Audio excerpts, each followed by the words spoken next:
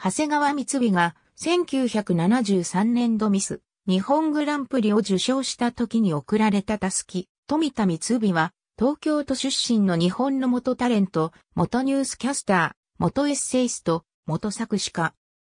1973年度ミス日本グランプリ受賞者。1973年、成城大学在学中にミス日本グランプリを受賞。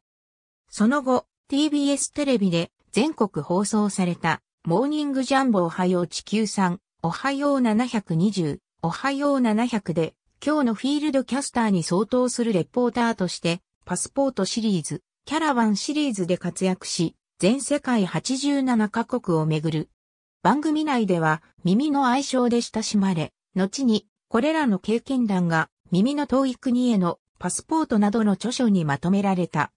このほか、テレビ山口で自らの冠番組、三つのサタデー録を担当した。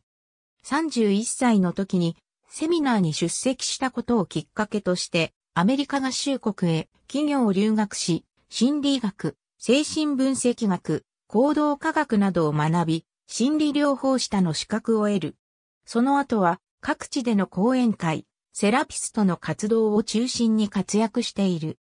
また、1980年頃よりは自己啓発セミナーのトレーナー職に転じ、1991年9月15日放送の JNN 報道特集で、フォーエバークリエーションでトレーナーを務める様子が取材され報道された。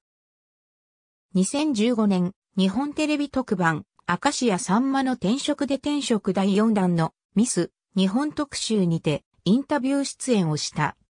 ミス日本歴代グランプリ社、長谷川光美、スターダストレディジャケットリメンのプロフィル参照声の図書館、朗読者紹介報道特集公式サイト、そのジャケット表紙。ありがとうございます。